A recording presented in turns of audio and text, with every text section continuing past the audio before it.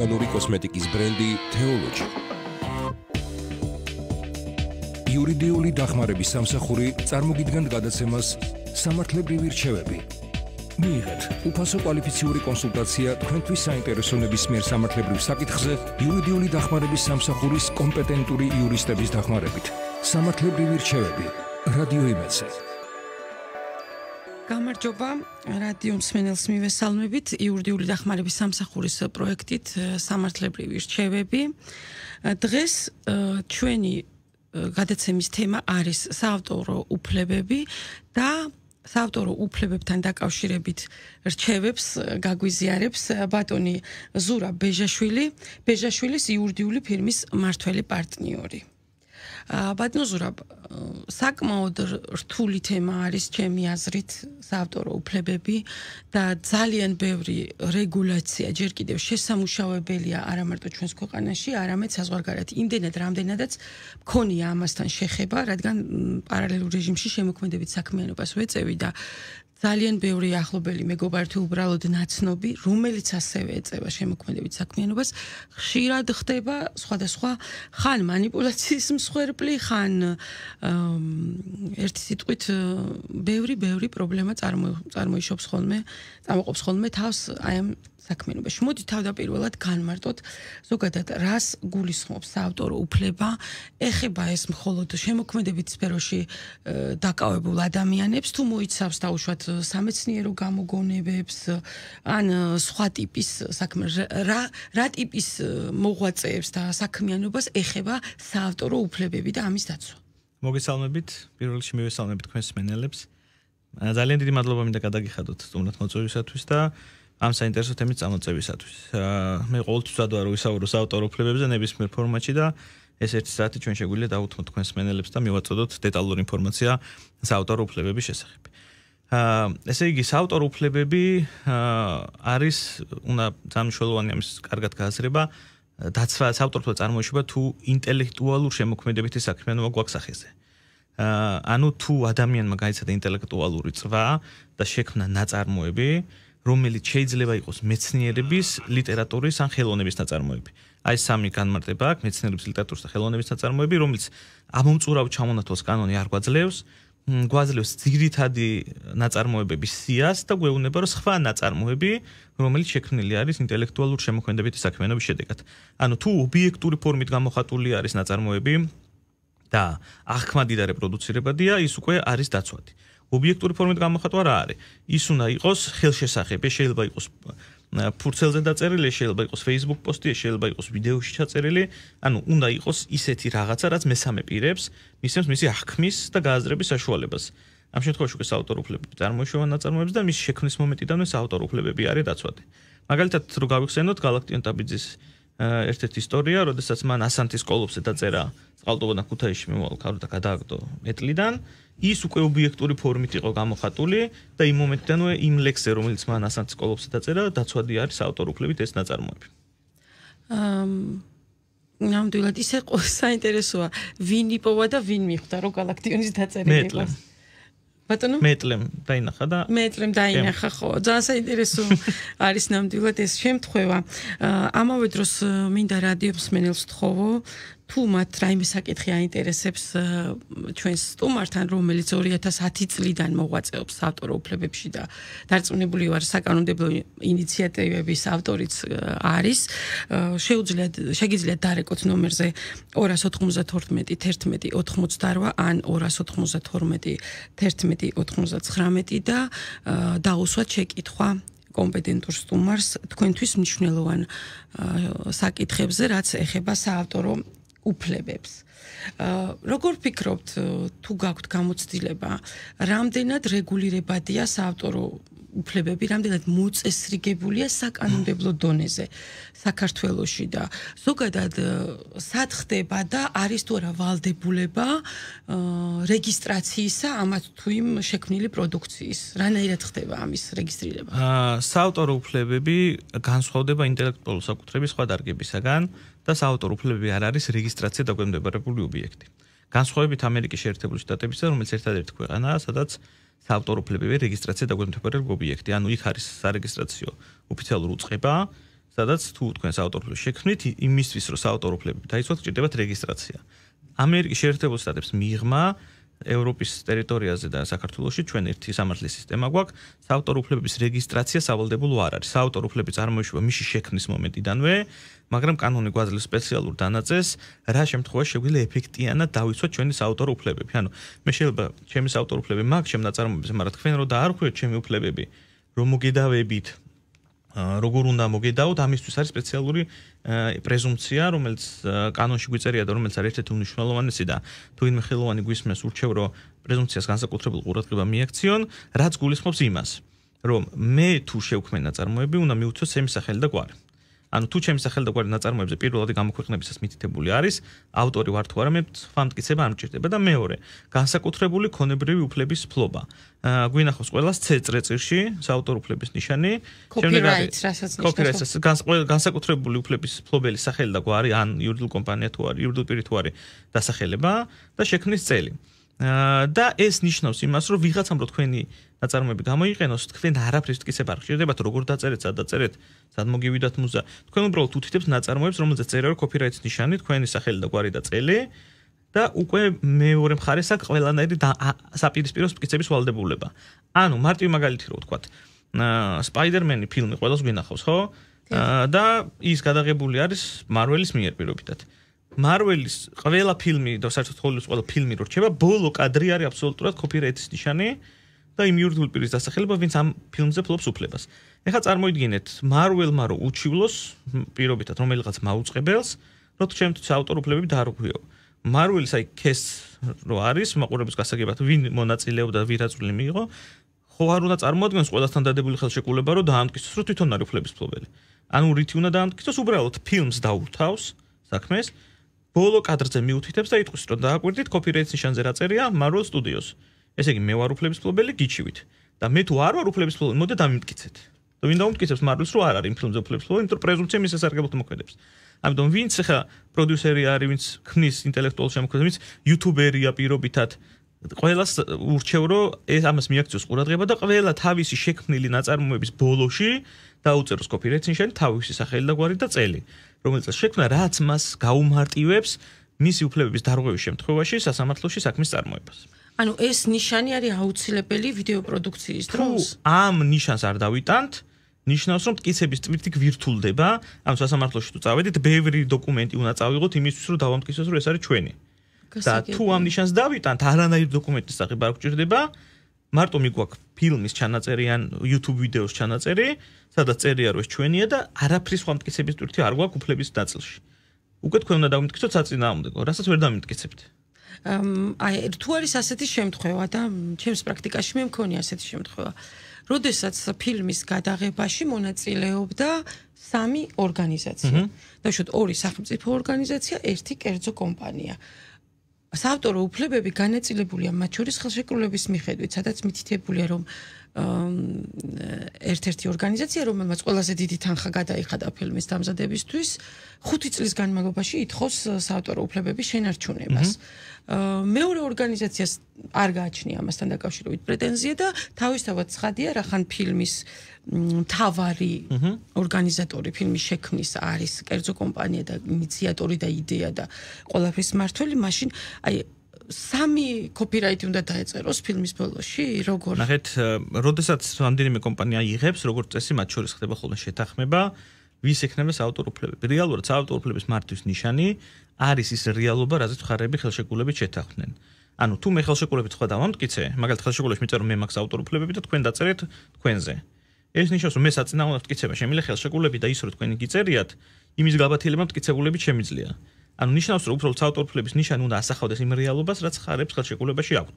თუ ხარებს ხელშეკრულებაში აქვთ რომ მე ვარ უფლების ფლობელი საქართველოს და კავკასიის ტერიტორიაზე და თქვენ ხართ უფლების ფლობელი ამერიკის ტერიტორიაზე ეს ინფორმაცია დატანილი უნდა იყოს იმისთვის რომ უფლების სხვა მესამე პირებს ვისაც უნდა რომ ლიცენზია მიიღოს მარტივად მიიღოს ინფორმაცია ვის ეკუთვნის ამაზე ვის უნდა მიმართოს ლიცენზიისთვის. შესაბამისად ეს უფლების მართვის ნიშანი უბრალოდ არის საინფორმაციო ხასიათის და გემარტივებთ კიცებისთვის, თორე ის აუცილებლად უნდა ასახავდეს თქვენ შორის დადებულ ხელშეკრულებას.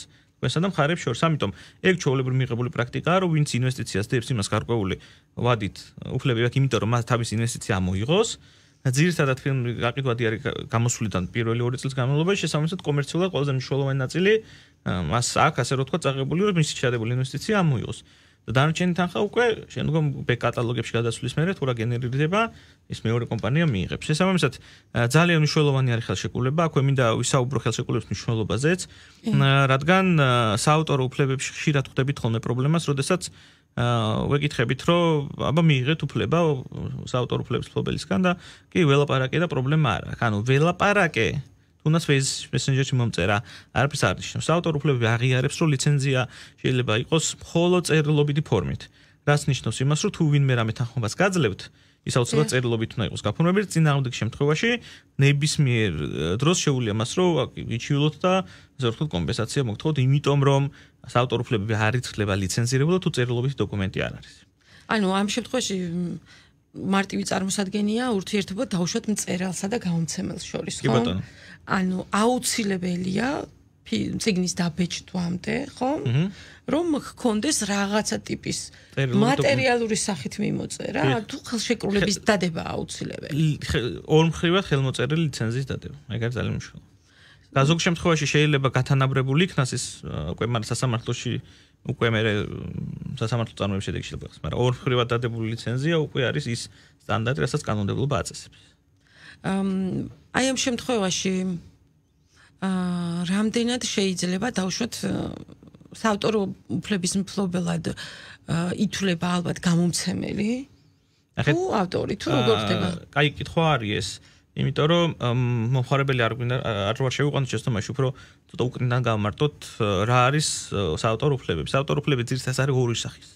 ეს არის არაქონებრივი უფლებები და ქონებრივი უფლებები. არაქონებრივი უფლებები გულისხმობს იმას, რომ ავტორს აქვს უფლება აღიარებული იქნას ავტორად, დაიცვას ნაწარმოები ნებისმიერი ფორმით დამახინჯებისაგან და ეს უფლებები, რომელიც სხვა კიდევ რა ბევრი უფლება არის არაქონებრივი ნაწილში. ანუ ეს ის უფლებები, რომელიც ავტორის არის მუდმივად და არის გაუსხვისებადი. ანუ რამდენჯერაც არ უნდა გამოსცეს ესა თუ ის ციგნი ესა ის თუ ის კი კონკრეტული ნაწარმოები ყოველთვის რა თქმა უნდა უნდა იყოს მითითებული ავტორი. ავტორი აუცილებლად. ეს არის არაქონებრივი არამატერიალური არა არა არაქონებრივი უფლება. ანუ შეგვიძლია თქვა აი სახელმწიფოება კარგი მაგალითია მემკვიდრეობით არ გადაეცა სახელმწიფო მამაჩემ რო ლექსი დაწერა მე არ ვარ იმ ლექსის ავტორი მემკვიდრე რო ვარ ისე მამაჩემია და ყველა ლექსის გამოყენებაზე მამაჩემი უნდა იყოს მითითებული ანუ ეს მემკვიდრეობით არ გადადის, ხელშეკრულებით არ გადაიცემა. ჩვენი კანონმდებლობა არ აღიარებს ასევე ეგრეთ წოდებული ghost writings, ანუ არა იდენტიფიცირებული ავტორის მიერ დაწერილ ნაწარმოებს. ამერიკაში ეს მიღებული პრაქტიკაა, რომ აწერენ ადამიანს, რომელსაც უარს ამბობს სახელის უფლებაზე და არავინ არის ეს რეალურად ვინ დაწერა. საქართველოში ეს რეგულაცია კონტინენტურ ევროპაში სხვანაირად არის, აუცილებლად უნდა ვიცოდეთ ვინ არის ავტორი. ავტორი შეიძლება ფსევდონიმი გამოიყენოს, მაგრამ ავტორ თუ იტყვის რომ მე მინდა რომ ჩემი სახელი იყოს მითითებული, ვერავინ ვერ აღუდგება ამას წინ, ანუ ეს არის ასე ვთქვათ და ავტორის მითვისება, ავტორობის მითვისება კიდე სისხლის სამართლის დანაშაული არის. ანუ მე თუ თქვი რომ ის ნაწარმო მე დავწერე და დამტკიცდა რომ ჩემი დაწერილი არ არის, ეს არის დანაშაული. ხოლო მეორე უფლება ეს არის ქონებრივი უფლება. ეს რას ნიშნავს? რომ აი ამ ნაწარმოების ნებისმიერი ფორმით გამოყენებისას ვინ მიიღებს ფულს? ანაზღაურებას, ანუ მატერიალურ სარგებელი ვის უნდა ჩაერიცხოს. ხონებრივი უფლება უკვე არის გადაცემადი უფლება, ინგლისურად ამას ქვია transferable right. ანუ რას ნიშნავს იმას, რომ შეგვიძლია მოგცეთ მე თქვენ ხონებრივი უფლება და თქვენ დაგავალოთ, რომ ნებისმიერი ფორმით გამოყენებისას თქვენ მიიღეთ ჰონორარები და მე გამინაწილეთ.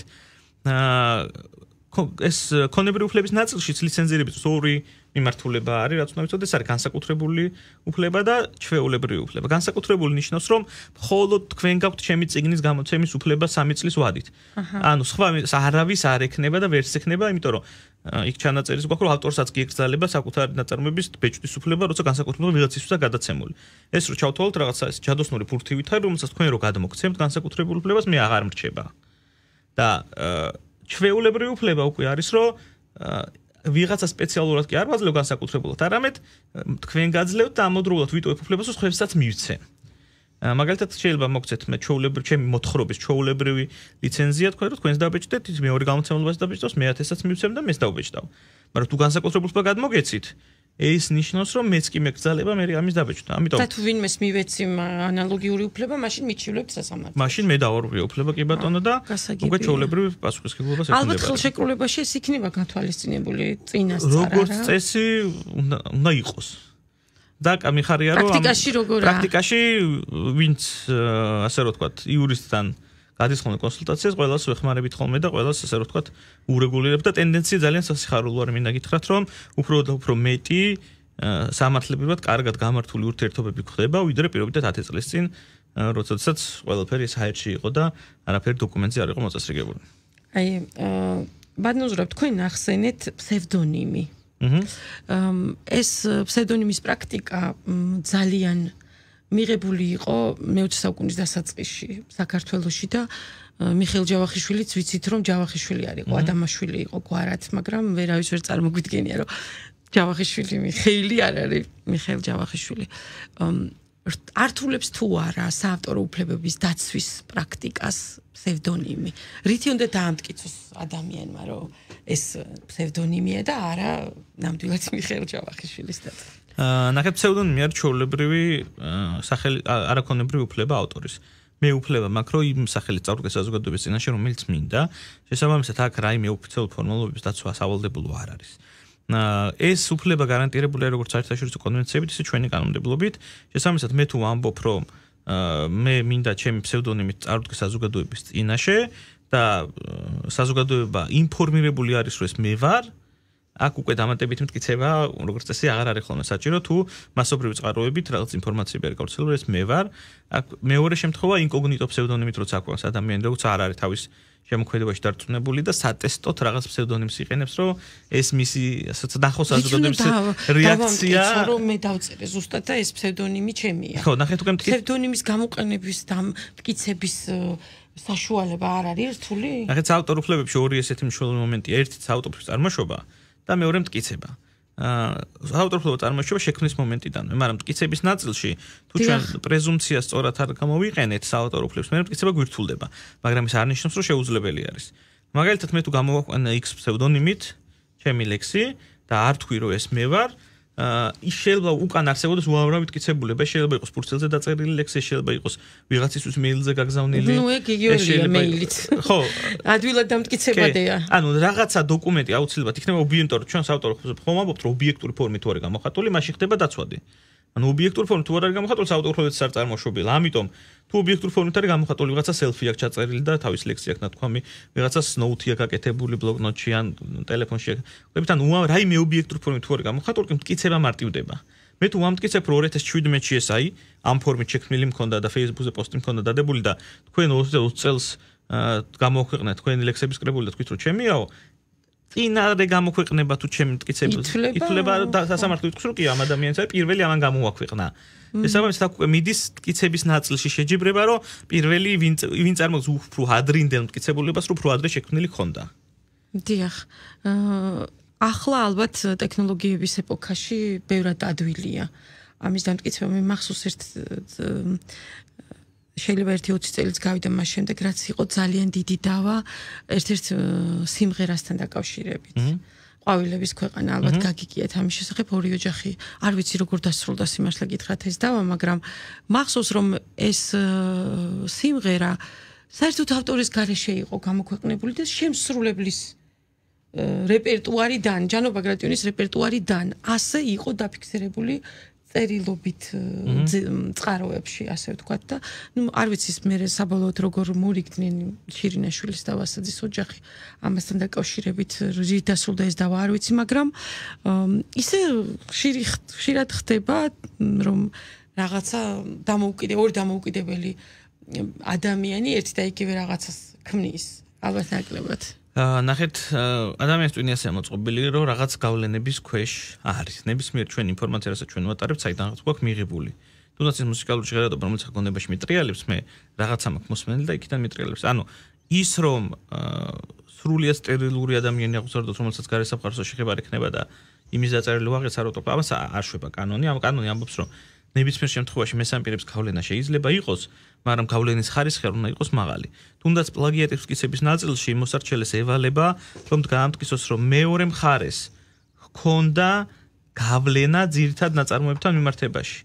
და ამ გავლენის ნაწილს ხოთაშუს ახალი პრაქტიკა საერთაშორისო დონეზე, რომელიც ძალიან საინტერესო არის, ფარელ უილიამსა და რობიტიკის კეისი რო იყო მარვინ გეის ოჯახის სასარჩელო მოთხოვნა მათ წინააღმდეგ. იდი იყო Blur Line მათ დაწერეს სიმღერა და ერთ-ერთ ინტერვიუში ფარალმა თქვა რომ ჩვენ მე და რობიო ჩავიკეტეთ ოთახშიო. აჰა. და მარვინ გეის ერთ-ერთ სიმღერას უსმენთ ის ინტენსიურადო და მის შთაგონების ქვეშ დავწერეთ ეს სიმღერა. ანუ გარეგანი მტკიცებულება არ არსებობდა რომ მის შთაგონების ქვეშ დაიწერა, მაგრამ მან საკუთარ ინტერვიუში პირდაპირ აღიარა რომ უდიდესი გავლენა ქონდა ერთ ნაწარმოებს ამ ნაწარმოების შექმნაზე.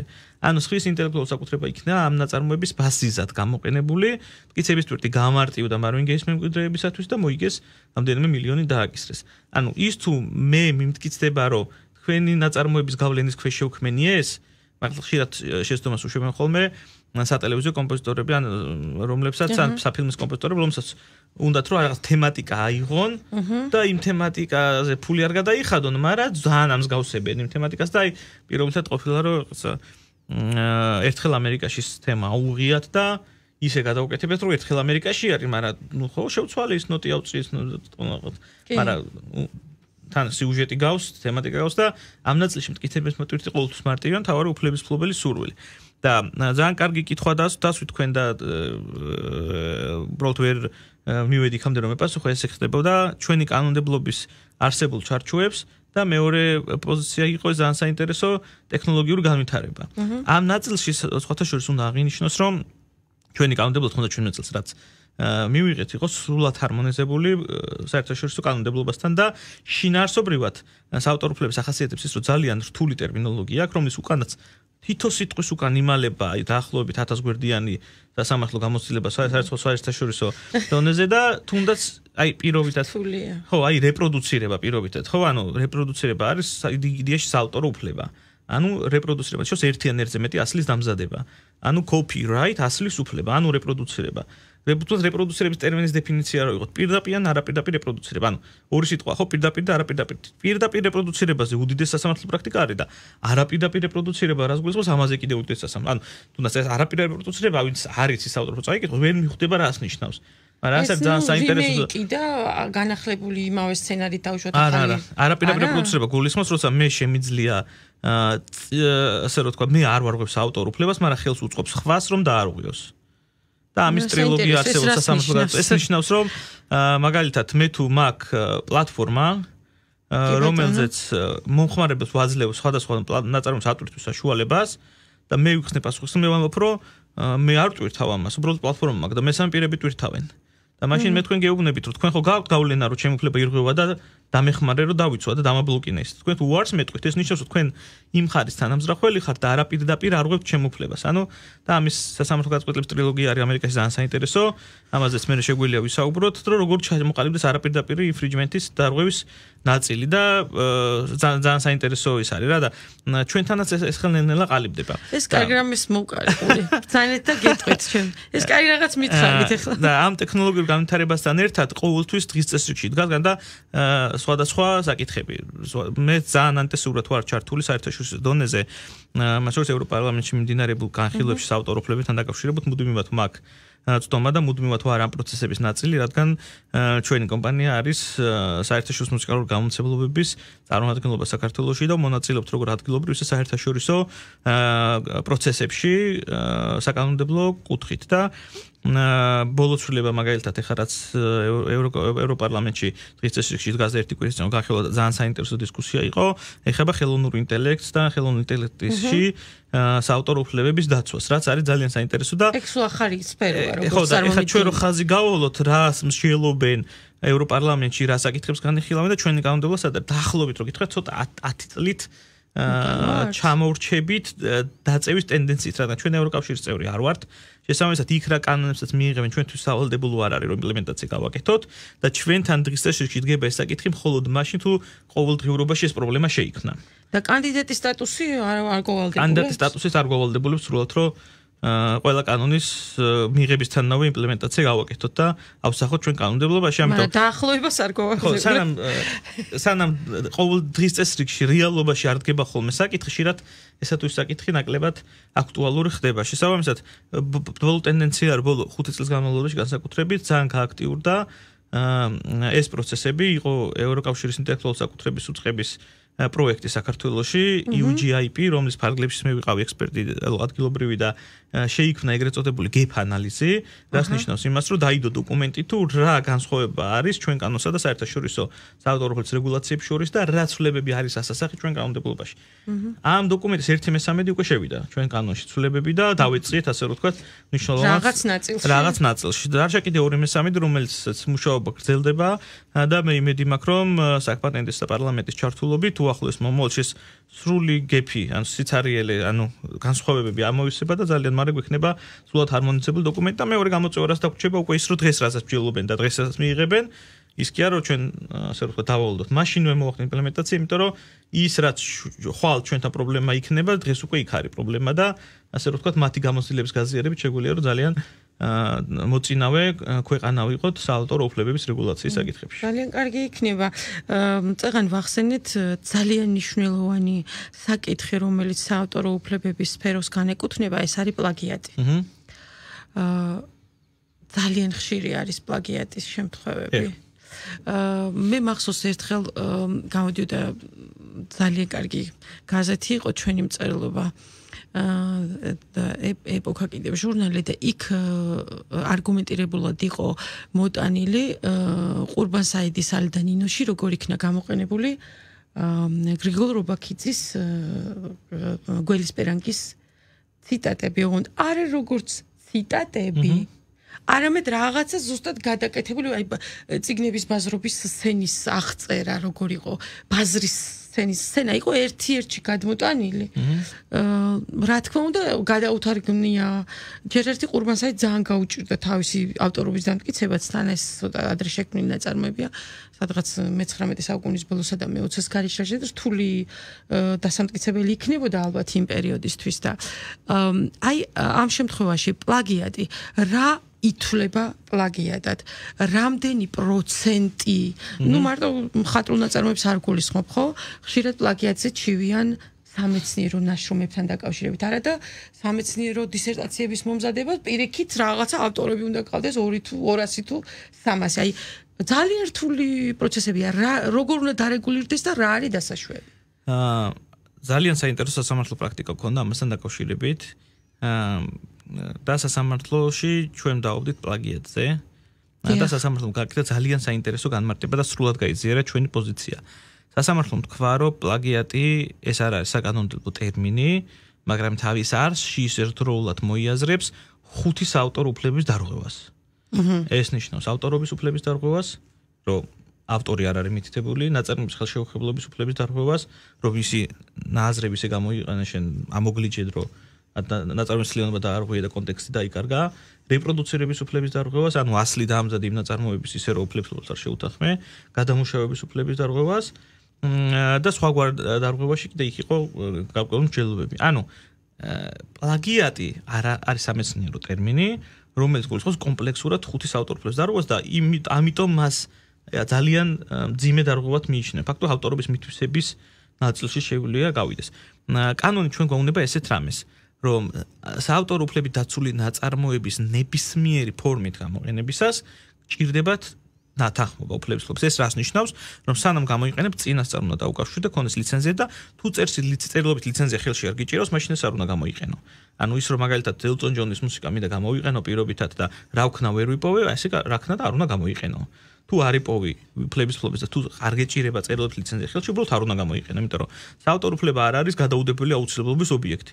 ეს არის შენი პირადი ინტერესის გამოხატულება კონკრეტულ ხელ შემოქმედებას შემოქმედებაში თუ ამას არ გამოიყენებ შენ აფრენ არ დაგაკლდება პირობითად თუ ელტონს არ გამოიყენებ და ქართულ ავტორს გამოიყენებ სიუჟეტში ანუ არავინ არ შავდება ამით. აქედან გამომდინარე თუ ელტონ ჯონის გამოყენება გვინდა, უნდა ვიპოვოთ უფლებსლობელი და გამოვიყენოთ. და საავტორო უფლება ამბობს, რომ ნებისმიერი ფორმით გამოყენებისას უნდა კონდეს უფლებსლობელის თანხმობა.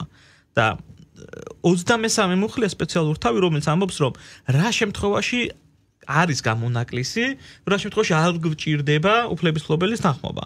და იქ არის ეს სპეციალური დათქმა, რომ მხოლოდ ამ ამ კონკრეტული ჩამონათვალი გათავისუფლებს ავტორუფლების ფლობელის წინასწარ თანხმობისაგან და მისთვის ჰონორარის გადახდისაგან. და ეს შემთხვევა თუ მე ვიყენებ იმ პირის მცირე მოცულობას ციტირების მიზნებისათვის. ან ციტირების ციტირების მიზნებისათვის, რომ აი მაგალითად იმან თქვა ესა და ეს. ამან თქვა ესა და ეს ამან თქვა ესა და ეს და მე ვაფსკვნე ამას ოღონ იქ უნდა იყოს ციტერების სტანდარტი დაცული ციტერების სტანდარტი ესე 23 მუხლი ამბობს რომ უფლების ფლობელისა და გამოყენების წყაროს მითითებით და ამ ციტირების პროცენტულობა არის რითიმე განსაზღვრული? ხო, აი ნახეთ, აქაც ესეც ძალიან ინდივიდუალურია, იმიტომ რომ ესე კონკრეტული პროცენტულობა განსაზღვრული არ არის, იგივე გადაწყვეტილებაში რაც მე ვსაუბრობ, სასამართლო თქვა რომ არ არის აუცილებელი სრული ნაწარმოები გამოიყენო, რომ დარღვევად ჩაითვალოს. მცირედი მონაკვეთის გამოყენებაც კი შეიძლება დარღვევად ჩაითვალოს, თუ ის არის ამ ნაწარმოების მნიშვნელოვანი ნაწილი. მაგრამ ციტირების მიზანი გამართლებული არის და ეს კონკრეტული მოცულობა ამართლებს თუ რა ციტრების მიზანს უკვე ინდივიდუალური შეფასების საგანია, რომელიც დავი შემთხვევაში უკვე სასამართლო აფასებს. მე თუ გამიჩნდა შინაგანი წმენა, რომ ჩემი ნაწარმოებები ისეა გამოყენებული ციტრება კი არ არის, არამედ რაღაც ერთი აბზაცის რეპროდუცირება არის, მე შემიძლია ვიდაო და სასამართლოში ჩემი არგუმენტები მოვიყვანო. უკვე სასამართლო შესაძლებელი იქნება ეს ციტრების სტანდარტი ცდება თუ არ ცდება. ანუ აქ უნიკალური ფორმულა არ არსებობს, რომ ჩვენ მსმენელს ვთქვა თუ აი ეს პირობთ 10 სიტყვა ან 20 სიტყვა ან 4%, ანუ ეს არის ყველაფერი არის საავტორო უფლებებში დამკვიდრებული არასწორი стереოტიპი, რომ რაღაც პროცენტებზე როცა საუბრობენ, რომ 10%-ია, 5%, ანუ ეს კონკრეტული პროცენტები აქ არ არის. შეიძლება ერთი ისეთი ფრაზა იყოს სიმღერიდან გამოყენებული, რომ მთლიანად სიმღერის სუბდოგული იყოს ის ფრაზა და იმის გამოყენებაც კი რეპროდუცირება ჩაითვალოს. ანუ წმინდა მტკიცებაზე მიდის ყველაფერი. ანუ ძალიან ინდივიდუალური შემთხვევები და კონკრეტული შემთხვევებია. ერთი რამ არის კიდევ საინტერესო კი ბატონო, ელტონ ჯონი ცოცხალია და მასთან კარგად ამყოფოს ღმერთს, მას შევძლებთ კომუნიკაციას თუ მოვიდოვებთ, მაგრამ გარდაცვლილია ბეთჰოვენი, მოცარტი, კლასიკოსები, რომლებსაც თავმალებით არ დარჩენიათ. აი თუ მინდა მისი ნაწარმოების გამოყენება, მაშინ ამ ნაწილში ხშირად უშვებენ ხოლმე ძალიან დიდ შეცდომას. საავტორო უფლებები ვრცელდება ავტორის სიცოცხლეში და გარდაცვალებიდან 70 წლის განმავლობაში. შეიძლება კონკრეტული ნაწარმოები ავტორი სოციალი აღარ არის და მისი გარდაცვალებიდან 70 წელი გასული არის, მაგრამ საავტორო უფლებების ახლავს მომიჯნავე უფლებები, მომიჯნავე თა სიტყვაც გვეუბნება მის მიჯნაზე არის. თლაც ავტორო უფლება არ არის, მაგრამ ეს უფლებაც საავტორო უფლების მამოძრავებელი ელემენტია და ამიტომ დაცვადია ეს მომიჯნავე უფლება შემსრულებლის უფლება. შემსრულებლის. რომ მაგალითად მე თუ ჩემი ავტორის სიმღერა ავიღე და ჩემი შესრულებით ფონოგრამაზე ჩავწერე, მე ჩემ შესრულებაზე ცალკე მომიჯნავე უფლება მაქვს, ანუ ვინმე რომ ჩემი ჩანაწერი გამოიყენოს, მე უნდა მთხოვოს ნებართვა. ამ შემთხვევაში 70 წლიანია და კონსანსაზრული ფონოგრამის ამზადებიდან. ეხლა რა შეცდომას უშვებენ? მე რო ავიღე ბეთჰოვენი, რომელიც გონია რომ საავტორო უფლებები გასული არის და გამოვიყენე ბოსტონის ორკესტრის ჩანაწერი, რომელიც 2 საათში არის გაკეთებული, მე შეიძლება საავტორო უფლება არ დავაბრუნო, მაგრამ ბოსტონის ორკესტრის უფლებები დავარღვე, იმიტომ რომ 2 საათშია ჩაწერა გაკეთებული და მასზე მომიჯნავე უფლებები კვლავ ვრცელდება და მე მეკვირს მე ბეთჰოვენი გამოვიყენე და რატომ მედავებიან? საავტორო უფლებებზე კი არ გედავებიან? ფონოგრამაზე გედავებიან, რომელიც ვერსიას გამოიყენე. ა მოიწვია მაშინ ორკესტრი ჩაწერდე ბეთჰოვენი და იქ რასაც ჩაწერ შენი იქნება და ვერავინ ვერ მოგედავება. შენი იქნება უკვე და ბეთჰოვენიც თავისთავად არ მოგედავება რომ რატომ შეასრულა ჩემი ნაწარმოები. გასაგებია, კი. ეს ძალიან მნიშვნელოვანია. დაწეღანდელი ჩვენი საუბრიდან გამომდინარე, როცა მესამე პირის პლატფორმის ფლობელის ვალდებულებაზე იყო საუბარი. ისევ ჩემი ეხა რომ გისმენთ ბატონ ზურაბ, იმდენი პრობლემა მქონია. მე პირადად, რადგან ვეწევი შემოქმედებით საქმიანობასაც, მე მქონდა ასეთი შემთხვევა, რომ ერთ-ერთი ჩემი ფილმი სადაც სცენარისატორიც მე ვიყავი და პროდიუსერიც მე ვიყავი და ძალიან ბევრი ვიწვალე იმ ფილმის გადასაღებად. ვნახე YouTube-ზე დადებული ვიღაცის მიერ. 5000 ნახვა ჰქონდა უკვე. და მე მალავ ამ ფილმს აგანგებო და ვაგზავნი ფესტივალებზე და ველოდები რაღაცა პრიზის მიღებას და არ ვაჩენ და ვიღაცა მითხრა რომ დევსო YouTube-ზე ექშენი ფილმიო და თვალებს არ დაუჯერე როცა ვნახე ვერ მივაგენი ამ გამომქვეყნებელს და უბრალოდ კომენტარებში მივწერე რომ საიდან გაქვს ეს ფილმი. უბრალოდ არ ვიცი რანაირად ჩაიგდო ხელში და ვერც ვიხსენებ იმეს თუ გადავეც. ავაღებინე. აღებინეთ. ავაღებინე, მაგრამ მე არ ვიცოდი რომ შემეძლო YouTube-ისთვის მეჩივლა. აუცილებლად. ეხლა ნახეთ როგორ არის რეალურად ჩვენ ჩვენთან დაგერეკათ ნახევარ საათში დაბლოკავდით მაგ ვიდეოს. იმიტომ რომ თავის პროცედურები აქვს. ეხლა იგივე თუნდაც არაპირდაპირ რეპროდუცირების პრაქტიკიდან გამომდინარე განვითარდა ეს მიდგომა და ევროკავშირში მიიღეს 3 წლის წინ არტიკლ 17 მე-17 მუხლი, რომელიც არეგულირებს შუალედური მომსახურების მიწოდებლების პასუხისმგებლობას დიდ პლატფორმებთან მიმართებაში. ესენი არიან მობილური აპლიკაციების ვებგვერდები დიდი საიტები როგორ რომელსაც დიდი შემოსავალი აქვს YouTube, Spotify და ასეთი ვებგვერდები და სხვა კიდე ბევრია ინტერნეტ სერვის პროვაიდერები და ასე შემდეგ და ასე შემდეგ. ანუ შუალედურ მომსახურებას ვინც უწევს და ვისცეც ბევრია დამოკიდებული, დაირღვევა თუ არა მესამპირების მხრიდან ესეთვის უფლება. და არტიკლ 17 იგივე YouTube-ს ავალდებულებს, რომ შენ რა არაპირდაპირ დარღვევაში რო არ ჩაგეთვალოს, შენ უნდა ქონდეს შენი მექანიზმი, რომ უფლების ფლობელი რომ მოგმართავენ. შენი მექანიზმით განიხილო ეს დავა და გადაწყვიტო ვის მხარეს ხარ. თუ იმათ მხარეს ხარ, დამრღვევების მხარეს, მაშინ მე შემილი შენც გიჩივლო. და თუ შენ შემომფლებას არ დაარღვევინებ არავის, შენი პასუხისმგებლობა გამოირიცხება ამით. შესაბამისად YouTube-ს აქვს ეს მექანიზმი, რომ თქვენ თუ უჩივლობთ YouTube-ზე, რაღაცას და ამტკიცებთ თქვენს ავტორ უფლებას მარტივად, იქ ცოტა პროცედურები და ბევრი დეტალი არის, რომელსაც მ საჭიროების შემთხვევაში შეგვიძლია მე ცოტა ჩავშალოთ და მეტი განმარტება მივცეთ, მაგრამ თავარი არის YouTube-ს აქ შიდა ეგრეთ წოდებული მინი სასამართლო მექანიზმი, რომელსაც თქვენ თუ გააგზავნეთ საჩივარს და დარწმუნდება რომ ნამდვილად თქვენ ქართული ფლობელი ბლოკავს უკანონო გამოყენებას, კი. მაგრამ ანაზღაურებას არ გასცემს ალბათ. აა არა, YouTube დაბლოკვა შეუძლია? კი, YouTube ანაზღაურებს ვერ გასცემს, მაგრამ თქვენ თქვენ მოითხოვთ თუ არა კომპენსაციას? თქვენ ინდივიდუალურ გადასაწყვეტია, მაგრამ YouTube-მა ამ შემთხვევაში თავის ვალდებულება მოიხსნა და არ დადგა დამრღვევის მხარეს და დაბლოკა. შესაბამისად YouTube-ს უკვე ვეღარ უჩილებთ, აქ YouTube-ის პასუხისმგებლობა გამოირიცხება, ერთ-ერთ თქვენ გრჩებათ, რომ ვინც ატვირთა იმას რამე ინფორმი დაიდენტიფიციროს და მოწვიოს, მაგრამ საკმაოდ რთულ საქმეს წარმოადგენს. ჩვენ ასე ვსაუბრობდით საარქივო პროდუქციის გამოყენებაზე, საავტორო უფლებებთან დაკავშირებით. ამ ხრივ ალბათ ჩვენთან უფრო რთულად არის საქმე, გულისხმობ ყოფილ საბჭოთა კავშირს. იმიტომ რომ ყოფილი საბჭოთა კავშირის ტერიტორიაზე შექმნილი პროდუქციის დიდი ნაწილი საბჭოთა პერიოდს უკავშირდება და რა თქმა უნდა ყავდათ ავტორები იმ დროსაც დაუშვათ სახელმწიფო ტელევიზიებსა და სახელმწიფო რადიოებში მოღვაწე ადამიანები ადამიანებს გულისხმობ. აი რა რა რეგულაცია ხდება აი ამ საარქივო მასალის გამოყენების შემთხვევებში? რა უნდა გააკეთოს? თუ მე ვაპირებ დაუშვათ საავტორო საარქივო მასალის გამოყენებას რა უნდა გავაკეთო? რომ კანონი არ დავარღვიო? აა ნახეთ არის ავტორო უფლება და არის არქივის მფლობელის უფლებები საავტორო უფლებები ჩვეულებრივ მოქმედებს აქაც მოქმედებს ავტორის ცოცხლეში და გარდაცვალებიდან 70 წელი მაგრამ თუ რაიმე ნაწარმოები არქივში არის დაცული იმ ეგზემპლარზე წდომის ნაწილში არქივებს აქვთ ხოლმე როგორც წესი საკუთარი გადასახადი. შესაბამისად ჩვენ თუ ხშირად ერევათ ხოლმე არქივის გადასახადს რომ გადაიხიან გონერს ავტორო უფლებებიც მათ ეკუთვნით შეიძლება ისეთი კომპოზიტორის ნოტები იყოს დაცული არქივში რომელიც ახალი გარდაცვლილი არის და ავტორო უფლებები კვლავ აქვს ანუ ცალკე ურთიერთობა არის არქივთან ცალკე ურთიერთობა არის ავტორო უფლების ნაწილში ეს არ უნდა აგვერიოს. თუ გამოითვლით ავტორ უფლების უფლებას და ნახავთ რომ ის ავტორ უფლებს ვადა გასული არის, იმ შემთხვევაში კი ბატონო, ავტორ უფლების ნაწილი გათავისუფლებული არის და არქივთან ურთიერთობა გრჩება. არქივს როგორც ეს სიმბოლური გადასახადი აქვს ხოლმე დაწესებული საარქივო მასალაზე წვდომის და რეპროდუცირებისათვის, ტარიფები აქვს თავიანთი დადგენილი, რომელიც როგორც წესი მახმარდება მე ისევ არქივის შენახვა მოვალ პატრონობას. შესაბამისად არქის არქეო მასალებთან წვდომა არ ჯდება ძვირი პირდაპირ შეგიძლიათ გითხრათ, მაგრამ თუ ნაწარმოები, იქ დაცული ნაწარმოების ავტორუფლების დაცვადი არის, საავტორუფლების ნაწილი უკვე არის გამოყენებისას კომერციული პირობა უნდა შეთანხმდეს და ეს კომერციული პირობა ყოველთვის გამომდინარეობს გამოყენების პროპორციიდან და გამოყენების ხასიათიდან, რომელიც ან ინდივიდუალური არის და ყველა შემთხვევაში ინდივიდუალურად ხდება ფასის დადგენა. აქ ტარიფები უკვე არ მუშაობს.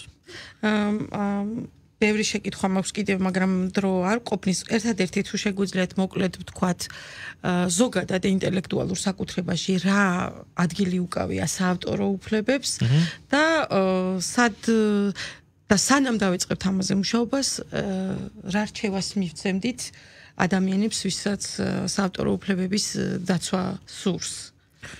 ესე იგი, ინტელექტუალურ საკუთრებათა ფართო ცნება არის, ის აერთიანებს ორ ძირითად მიმართულებას, ეს არის ავტორ უფლებები და სამრეწველო საკუთრება, რომელიც თავის მხრივ კიდე სხვა ბევრ მიმართულებას ავითარებს. სამრეწველო საკუთრებაში ჩვენ ხვდებით სასაქონლო ნიშნებს, დიზაინებს, პატენტებს და სხვა და სხვა ინტელექტუალურ საკუთრების ობიექტებს. საავტორ უფლებები არის უკვე წმინდად განსხვავებული კატეგორია, რომელიც პრინციპების დონეზეც კი განსხვავდება. მარტივად იგულისხმება ზოგადად. კი, მარტივად თქვა, სამრეწველო საკუთრება რეგისტრაცია დაქვემდებარებული ობიექტი, ინტელექტუალურ საკუთრება არის განსხვავებული ტიპი, როგორც ვისაუბრეთ, შექმნის მომენტიდან წარმოგვეშვება. მარტივი ანალოგი რო გავავლოთ, შეიძლება დიზაინერმა, რომელმაც დასასმელი შეკერა, აა აა ესე რომ ვთქვათ, რეგისტრირებული არ აქვს თავის დიზაინი, მაგრამ ის ავტორუფლებით დაცული არის, იმიტომ რომ მისი ინტელექტუალ შემოქმედებო საქმიანობის შედეგი არის, მაგრამ მისი დაცვა ხშირად რთულად ხდება ხოლმე, იმიტომ რომ ტანსაცმელზე ხო არ დავაწერთ კოპირაიტის ნიშანს. ამიტომ დიზაინის შესახებ კანონი ცალკე გვაქვს, რომელიც ამბობს, რომ თუ მაინც და მაინც დიზაინის მიმართულებით განვითარდა ეს ხელოვნება, ეს ხელოვანი მას შეუძლია რომ დაარეგისტროს საკუთარი დიზაინი, რომელსაც სპეციალურ ფასდაკლები მოქმედებს და ძალიან იაფიჯდება. აა და რეგისტრაციის შემდეგ უკვე მტკიცების თურთი მარტივ, იმიტომ მას რეგისტრაციის დოკუმენტი აქვს. მაგრამ სანამ დაარეგისტრებს საავტორფლეთ მაინც დაცული არის. ანუ ნებისმიერ შემთხვევაში რაღაცა უფლები დაცულია და უკვე მე სხვა ნაწილში გადადის. თუ დიზაინის კომპონენტი, მაგალითად ლევისის ჯინს კონდა ძალიან საინტერესო ჯიბის კონტური, რომელიც ლევისის ჯინსისთვის განსაკუთრებული იყო. თავიდან ისინი დიზაინად იცავდნენ ამას, მაგრამ მე ეს დაარეგისტრებს სასაქონლო ნიშნად. განსხვავებასა დიზაინის სასაკურნალო ნიშანს შორის არის ის რომ სასაკურნალო ნიშანს მეტი დაცვადობის დონე აქვს დიზაინის ნაკლები, იმიტომ დიზაინში პატარა ელვარო შეუცვალო და უკვე სხვა დიზაინი. ხო და რაღაც გადავაკეთო სხვა დიზაინი და სასაკურნალო ნიშანი უფრო მაღალი დაცვადობის დონე აქვს და თან უვადოდ შეგიძლიათ დაიცვათ კოკაკოლას. სასაკურნალო ნიშანი პირობითად თან ნებისმიერი ბანკის სასაკურნალო ნიშანი უვადოდ შეგიძლიათ დაარეგისტროს ყოველ 10 წელში გაგრძელების უფლებით. და დიზაინი ამოწურვადი 25 წელში გადის ეს დიზაინის უფლება და თან სასაკურნალო ნიშანი ისეთი რამეა რაც აი ბრენდის იდენტობას ასახავს და ძალიან ხშირად უშვებენ ხოლმე მეწარმეების შეცდომას, რომ არ არეგისტრირებენ სასაქონლო ნიშანს. პირობითად ჩვენ ვართ იმედის რადიოში, იმედის სახელი რეგისტრირებული არ იყოს, მე ხვალ რომ რამე რადიო გავაკეთო და იმედი დავარქვა და დავარეგისტრირო, აქეთ აგიკრძალო თქვენ იმედის სიტყვის გამოყენებას. ხდებით, ანუ ძალიან მნიშვნელოვანი არის, რომ ეს უკვე ინტელექტუალური საკუთრების სფერო. ეს სამრეწველო საკუთრების მე მგონი ამ თემას ჩვენ მივუბრუნდებით აა სხვა დროს დღეს სამწუხაროდ დრო არ გვაძლევს ამის საშუალებას. ძალიან დიდი მადლობა მინდა ბატონ ზურაბ რომ მოგახსენოთ. ზურაბ ბეჟაშვილი იყო ჩვენი გადაცემის სტუმარი. გადაცემას უძღვებოდი მე ნინო ჩუტკერაშვილი. დიდი მადლობა ყურადღებისთვის.